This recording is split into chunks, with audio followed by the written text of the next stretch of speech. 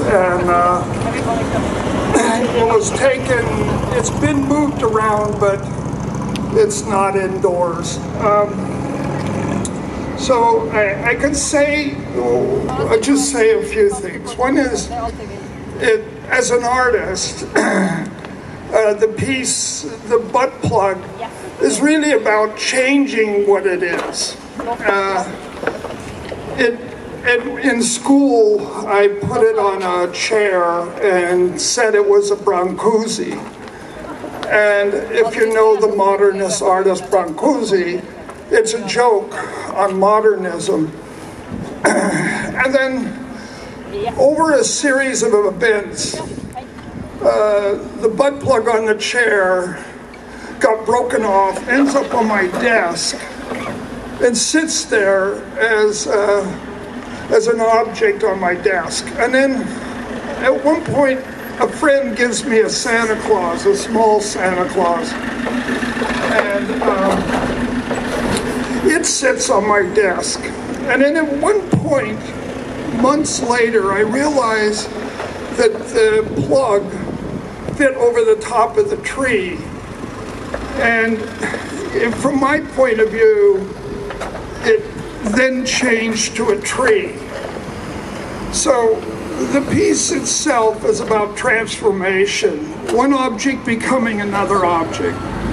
Uh, the Santa Claus as it is was made for, not this one, the original one was made for Rotterdam, and like he said, it was smooth.